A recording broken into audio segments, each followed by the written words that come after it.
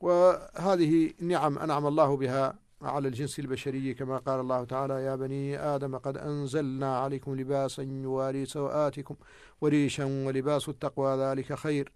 وتعهد الله لآدم في الجنة بأربعة أمور هي أصول المنافع وضرورات الإنسان في حياته فقال إن لك لا تجوع فيها ولا تعرى وأنك لا تظمأ فيها ولا تضحى. هذه أربعة أمور لا يستغني عنها الإنسان أبدا. ضمنها الله للجنس البشري ممثلا في آدم وحواء عليهما السلام فقال إن لك لا تجوع فيها هذا الطعام ولا تعرى هذا اللباس وإنك لا تظمأ فيها هذا الشراب ولا تضحى أي لا تبرز للشمس وهذا السكن.